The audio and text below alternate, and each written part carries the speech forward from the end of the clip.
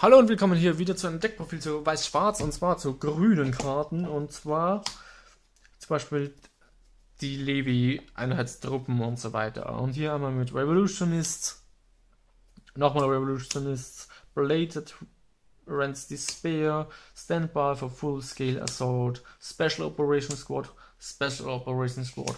Und Truth sowie The Wings of Freedom. So. Dann haben wir die Level 0er. Hier den Member of Liebe Squad Gunther. Der Gunther ist da.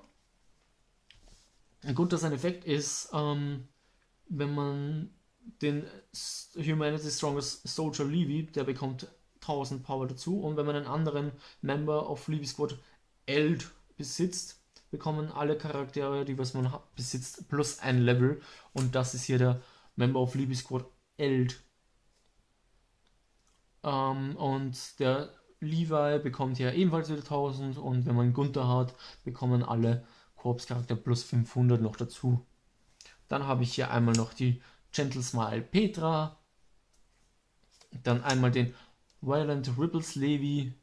Da bekommen alle Korpscharakter 500 Power und wenn diese Karte ähm, ist, vom, also ist von der Hand auf das Feld gekommen ist, darf man eine vom einen Charakter vom Gegner in der Center Stage wählen und dieser bekommt minus 1000 Power bis Ende der Runde. Dann haben wir hier noch Scout Regiment Captain Levi.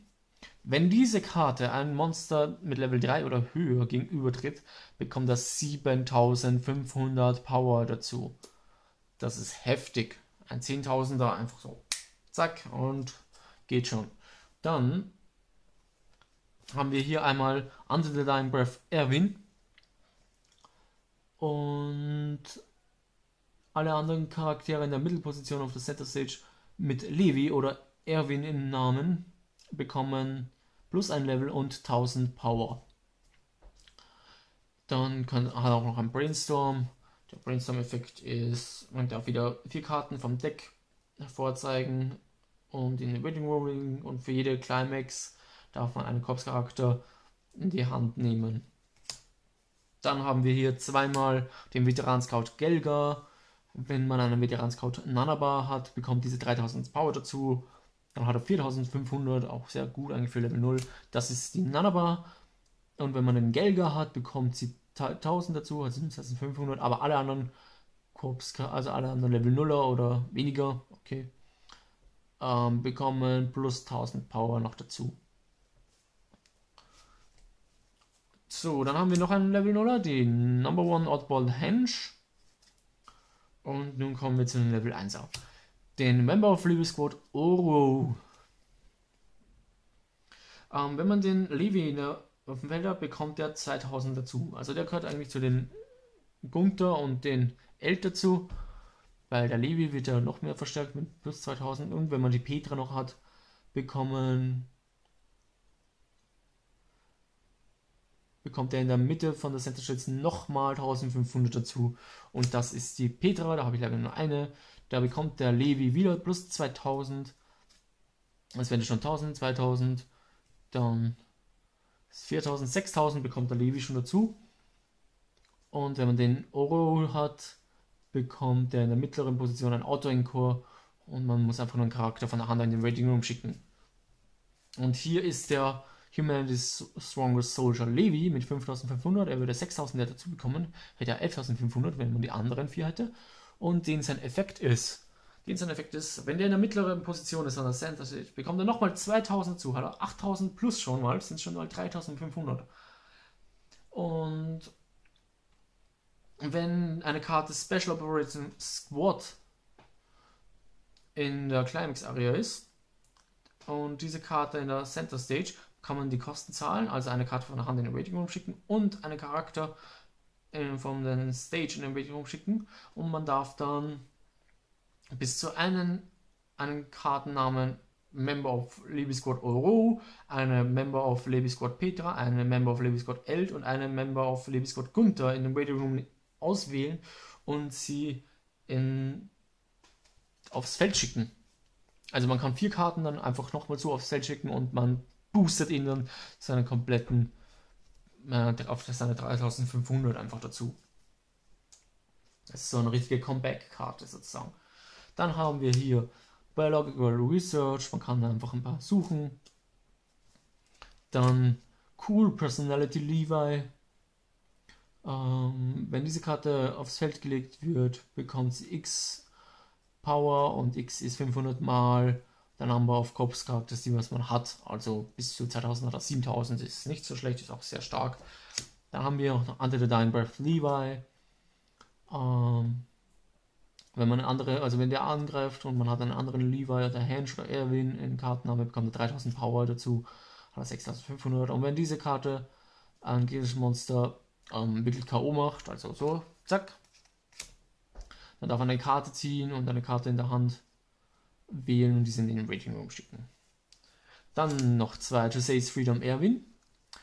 Ähm, diese bekommt 500 für jede anderen Kopfcharakter. Also kann bis 7500 haben.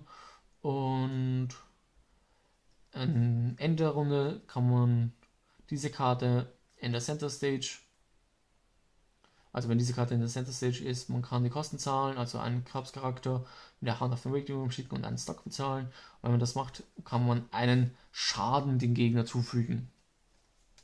Dann haben wir hier noch A Definite Death Henge. Ähm, diese Karte bekommt einfach 2000 bis Ende der Runde, hat 7000 für den Anfang, auch nicht so schlecht. Dann haben wir hier noch Out of the War Research Erwin, hat einfach eine R-Card mit einem Charakter von der Hand auf den Waiting Room legen. Dann hier noch einen 1-1 Under the Dying Breath Mike, der kann nicht Side attacken und er hat Encore ebenfalls wieder vom Deck, aber in den Clock rein. Dann hier noch zu Level 2, der Beyond the Walls Levi. Ähm, er bekommt minus Level 1, wenn ich vier oder mehr Charaktere in meiner Hand habe. Das ist nämlich sehr gut auch dann eigentlich. Ähm, wenn alle anderen äh, Charaktere Korps sind, also ja, Korps sind, dann bekommt er nochmal 1000 dazu und wenn diese Karte angreift, kann kein Spieler Backup einsetzen. Also mit 8000 kann angreifen und geht schon. Als Level 2, äh, Level 1. Dann Soul Regiment Commanding Officer Erwin. Ähm, er bekommt plus 1000, wenn in meinem Stock 5 oder mehr sind. Also 5 oder mehr. Und Auto Encore. Ähm, wenn man 4 oder mehr Korpscharakter hat, kann man die oberste Karte von meinem Deck in meinen Stock legen.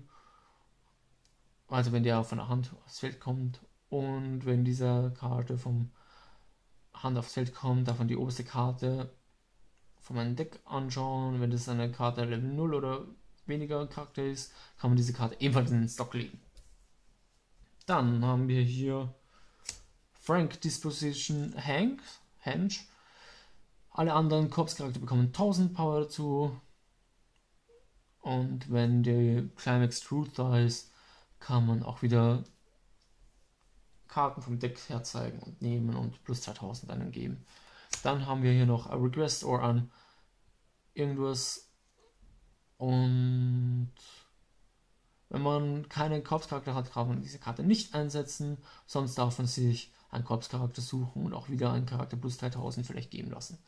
Dann haben wir hier noch der Sunset on your Back Levi.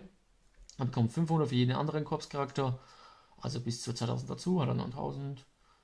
Und wenn die Karte Revolution ist in der Climax Area, man kann das Deck durchsuchen nach einem Korpscharakter, das herzeigen und in die Hand nehmen. Dann noch zweimal Lesson. Ähm, man kann einen Korpscharakter auswählen. Diese Karte, äh, dieser bekommt dann 4000 Power bis zu Ende der gegnerischen nächsten Runde. Und diese Karte wird dann in den Stock gelegt. Dann haben wir noch ein Communication Henge. Ähm, wenn diese Karte kämpft gegen ein Level 3 oder höher, bekommt sie 6000 Power dazu, hat sie 3000. Sehr gut. Und Endcore hat sie auch wieder. Dann Cold Star Levi. Es ist eine Backup-Karte mit 3000er. Und man muss die obersten drei Karten vom Deck in den Waiting Room schicken. Und dann als Level 3er noch natürlich Silent Fury Levi. der Effekt ist, wenn die Nummer, äh, wenn die Nummer von den Climax-Karten in meiner Rating Room ist 2 oder weniger, dann darf ich diese Karte, also bekommt diese Karte minus ein Level in der Hand. Das ist sehr gut. Und wenn die Nummer von den anderen Korpscharakter ist 2 oder mehr, bekommt sie 1000 Power dazu. Und wenn diese Karte von der Hand auf das Feld kommt, darf man die oberste Clock-Karte in den Waiting Room schicken. Ich hätte diese Karte zweimal, aber die zweite ist leider so mit der Unterschrift. Und den möchte ich nicht gerade spielen, sondern lieber in so einem Toploader aufbewahren und anschauen. Weil sie wäre gut nochmal zu spielen, aber wie gesagt, ich möchte sie nicht da drinnen haben. Das war das Levi-Deck sozusagen.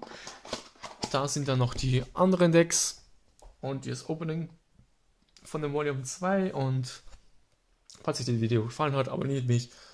Lasst ein Like hier, schreibt in den Kommentaren, was euch mehr, noch mehr gefallen würde. Und bis zum nächsten Mal.